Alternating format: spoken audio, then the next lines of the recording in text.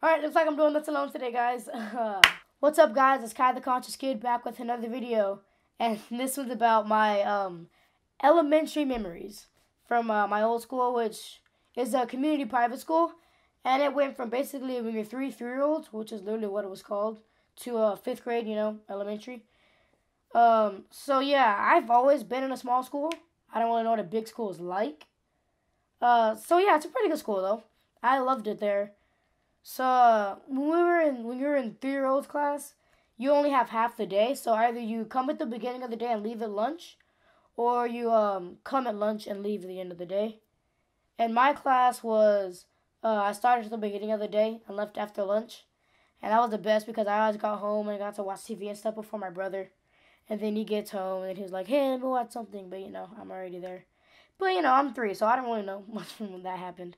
I remember one time, um, though I was there and I was watching. I can't remember what show it was, but I was watching TV and he came in. and He was mad because he wanted to watch a show, but I was already watching mine, so he had to wait, and then it was over by time. So it was kind of funny. But um, yeah. So in one of the first few weeks of being in school there, three year olds, um, we were doing rhyming words, words that rhyme with our names. So you know, my name is Kai, so Kai, lie, cry, sky, pie, why, you know all the stuff, right? So my teacher gave me all these options, and I couldn't think. Hmm. So then she narrowed it down pie or sky. And I was like, I like eating pie, but the sky is so cool. And so then she was like, you know what? I'm just going to write down sky because I was taking forever. And then once she wrote it down, I was like, you know, I wanted pie. So I yelled at her, No, you're the worst teacher ever. I wanted to have pie. You're mean, you're meanie. You let everybody else choose theirs, but I didn't get to pick mine.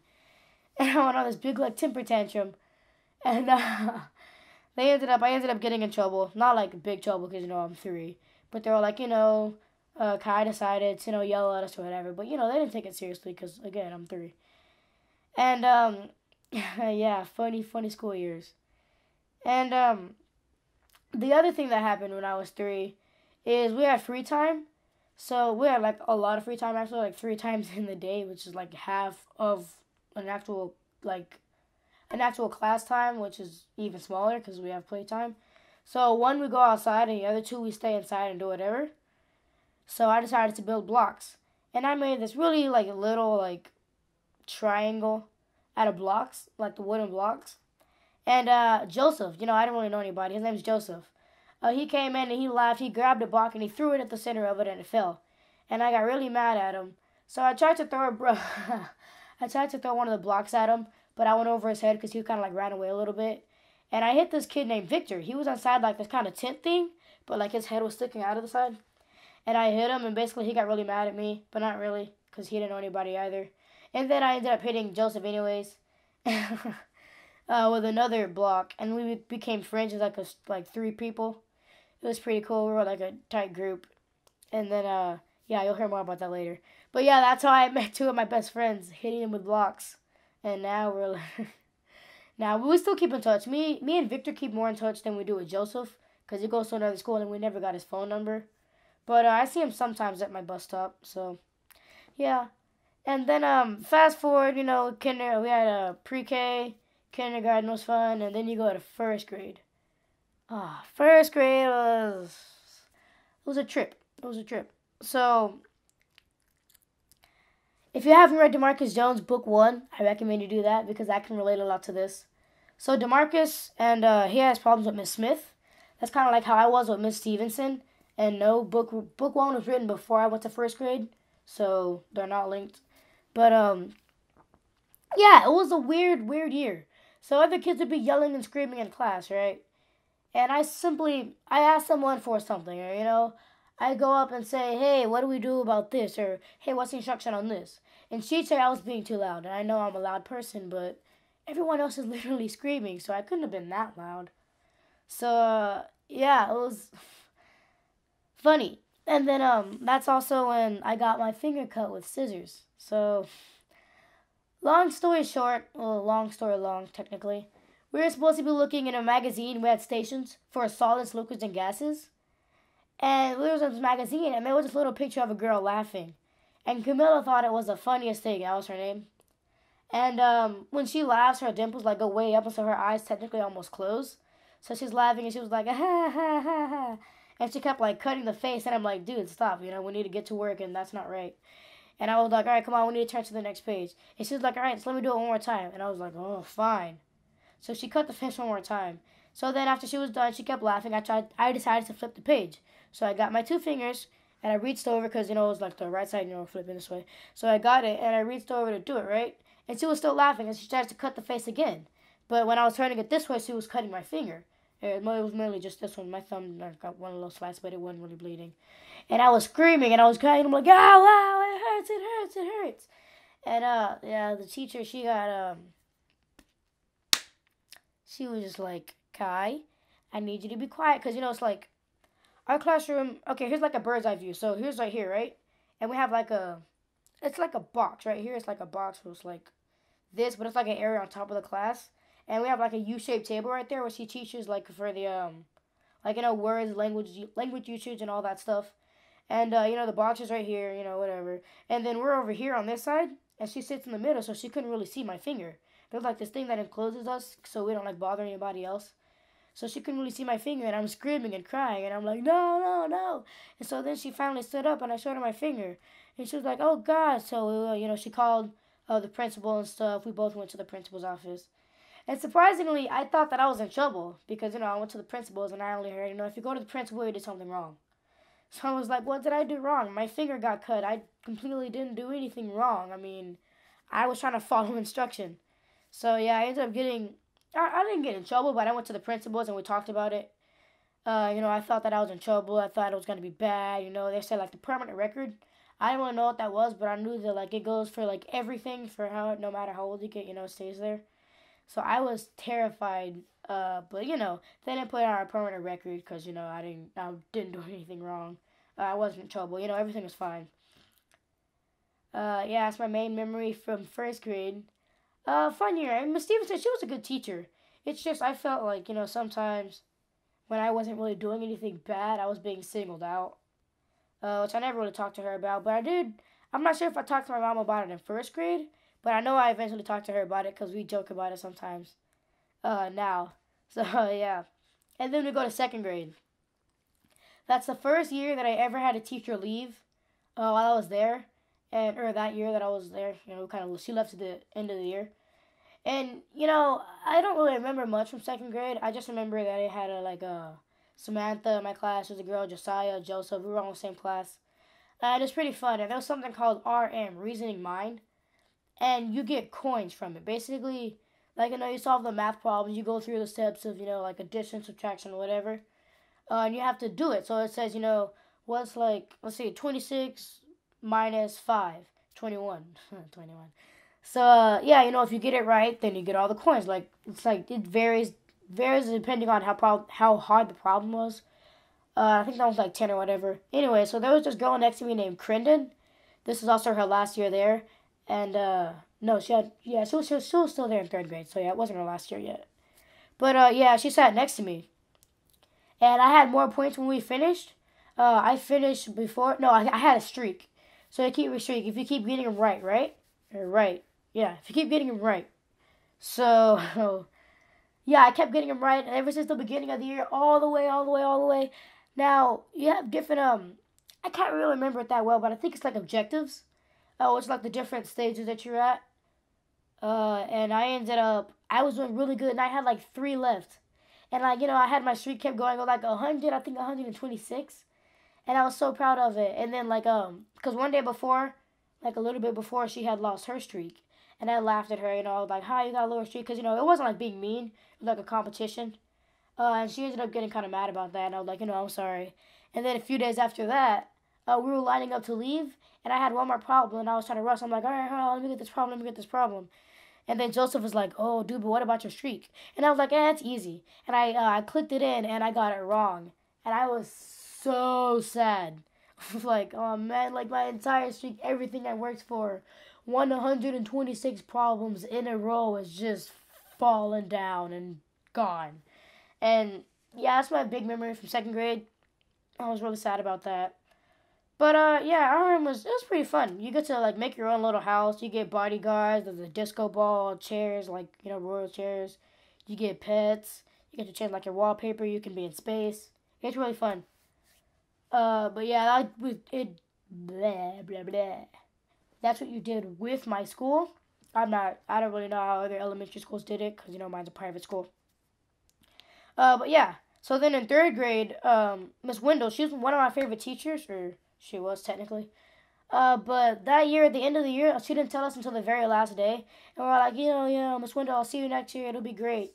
And then we have like a circle, and we circle up at the end of the year. And she told us that she was leaving.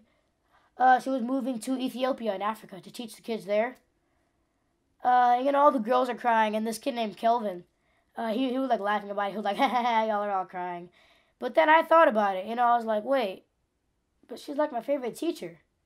And I was like, oh man, I'm not gonna see her again. So I started crying, but you know, it wasn't like, you know, you make noises like the silent cry. And then Kelvin saw that I was crying and he was like, oh wow, you're crying too? I guess it's kind of sad. And so he, he stop laughing. But me and him weren't really friends back then. He was more friends with like Isaac and all of them. Uh, we ended up kind of becoming friends later on. Um, so yeah, fast forward fourth grade, we had the new teacher, Miss Gunter. Uh, she's she's a good teacher. She's really nice. She's still there. Uh, yeah, I will say she's one of my favorite. Yeah, she's really fun and joyful, exciting. Uh, you know, when I do something, she doesn't just say, you know, oh, you did this wrong, you did that. She's like, well, you know, I noticed that, you know, this was a little different. Or when I'm talking too much in class, uh, one time she sent me out. She sent me to the hallway because I just would not stop talking um, in the middle of her trying to talk. So we ended up coming up with a signal for me uh, basically when I'm talking too much, she'll like signal me, and then I'll be like, oh, okay, I need to be quieter, or you know, not quieter, but you know, not talk while she's talking, or yeah, in general, sometimes like when we're having, you can talk, I need to be quieter, you know. Uh, sorry, a little stuffy. Oh yeah, but yeah, in fifth grade, uh, last year it was really sad. We went on a camping trip. We go for I can't remember how many days. I think it's like three, uh, three or five. I can't remember. But uh, yeah, it's a fun trip. You get to spend the night at the campsite. We have our own camping place. Uh, yeah, it's really nice. You get to stay there for the night. We have s'mores, and it was over April Fools. So uh, yeah, that that'll go into play later. But uh, so the boys are on this side and the girls are on this side. And when you go to the restroom, you have to go through here. Like, technically, you could go around this way, but they said we should go through the pavilion instead of going out like by the forest. And so every time I'd go over there to go to the restroom, the teachers, you know, they'd be like they were like half sleep, half not. And they were like, you know, stop going over to the girls' side. You know, we don't know what you could be doing over there. You know. Uh, but I was just going to the restroom. I went like twice, uh, two different nights. And they're like, you know, three strikes, you're gonna have to sing you home. And I didn't understand that. I was like, I'm just going to the restroom. But you know, I didn't want to talk back to my teachers, so I didn't say anything about it. Uh, so yeah, they told me that in the morning uh, on April Fool's Day. And then they told everybody uh, when we all grouped up and we all had breakfast and stuff they were being serious and they were like, it was uh, Miss Meckler and Miss Gunter because we have uh, two teachers for each grade in my school. Uh, yeah, so it was pretty like it was kind of sad because they were just like, you know, y'all are being bad, so we're gonna because we had like two more days left, and they were like, y'all are being bad, so we're gonna send y'all home early. You know, you're not gonna get to enjoy the rest of the trip. Yeah. Yeah, they were like, you're not gonna get to enjoy the rest of the trip, and we were kind of sad. We were like, no, you know, we didn't really do anything. I mean, we talked sometimes, but you know, we followed instructions. And you know, it was kind of like, you know, we didn't do anything wrong or all that. And then, guess who's back? back there again. Okay, yeah, okay, what was I saying? Yes, teachers pulled an April Fool's prank on us. We all believed it. Uh, for like a solid like five minutes. We were all sad. We were like, come on, you know, we're blaming it on other people. Come on, guys, why y'all do that? Now we can't, you know, now we can't stay here for the whole time. Because they were saying they have taken kids back before but it's kind of unbelievable for us because it's a two hour drive there from our school. And that's kind of crazy. So yeah. But yeah and then we had the graduation the leaving our parts and goodbyes. It's kind of sad. Actually was really sad. Uh, everybody cried. Not everybody but most people. I cried um yeah a lot actually me and my friend Josiah, uh, John Paul, Kelvin, we all like got in a little huddle, and you know we're like, you know, we'll still stay in contact, and we kind of do. I don't really contact like Kelvin. I talk to John Paul sometimes. Uh, Josiah, not really anymore, but yeah, I don't know. See, it's only been like a year and a half, and we've already lost contact. I've already lost contact with most of my people. But uh, I have a little box that I made, and the funny thing is, on the bottom of it, I always forget. On the bottom of it, I have a lot of their phone numbers, cause it's like I have to flip it over, like you know, but I always forget that it's there. And I'm like, dang, I wish I had this person's phone number. And my brother will hear me sometimes, and he's like, didn't you say it's on the bottom of your box? And I was like, oh, you're smart. And I was like, run. I'm like, yeah, yeah, yeah. I get my phone, you know, put their numbers. It's pretty cool. I talk to people every once in a while, check up on what's going on in their lives. It's pretty fun. Um, and yeah, at my old school, we have a play every year for most. It's like a there's the grades that it goes through. Uh, and yeah, there's one for every grade, basically. Uh, so like even when you're really little, uh, when you're three, you don't do one, and when you're in pre-K, I think you you do do one. You're on the, the like the sides though. So there's a stage, and then we have like the two things on the sides of like the people stand. It's kind of like bleachers, but like different. I don't know what they're called. But anyways, uh, yeah, that's where like you're only really seeing. So when you're not, uh, they tell you to stay standing up. Sometimes you just sit down, but most of the time you just stand up the whole time. Uh, and you kind of just sit there and watch the play. And then when it's time to sing, boom, you face the audience. You got masks on. So we did a play with like animals, you know. Uh, I was an elephant. That was kind of fun. Uh, you know, different plays. So once we were old enough to get the lead, the main role, I took on the main role every single year except for two. And I was just I was used to like automatically getting the main role.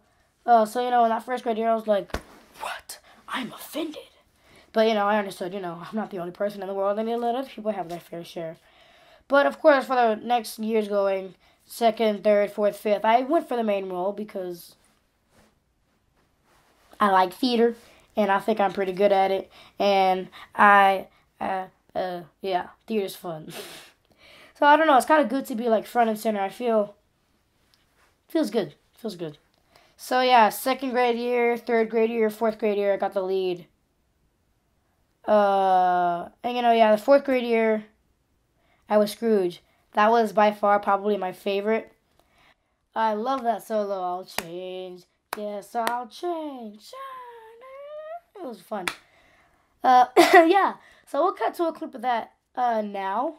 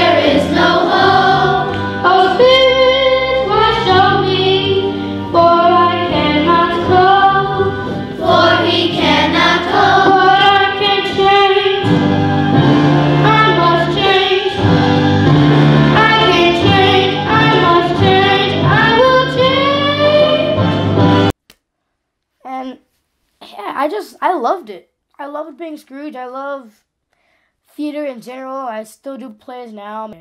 I love my old school. Uh, everything's great. I loved it. You know, even though I had my problems and you know all the bad stuff happened, it was just great. We had you know our music class, gym. We had art. You know, we didn't we didn't really have electives. Uh, and on Wednesdays we got out early. That was the best because in fifth grade, because you get out at one uh, on Wednesdays. So you just get to spend from 12 to 1 that whole hour. You just play and play and play and play. And then we go. And then, yeah, we leave. yeah, it's fun. Let's play. Okay. Let's play. Okay.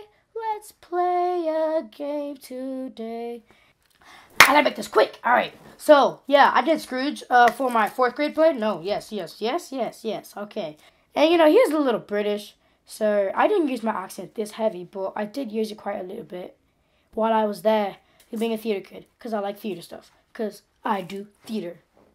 Er, er. I'm sorry, I just got energy today. Okay, and uh, the quote is: "Stop getting distracted by things that have nothing to do with your goals. Hey, you. You want to graduate college?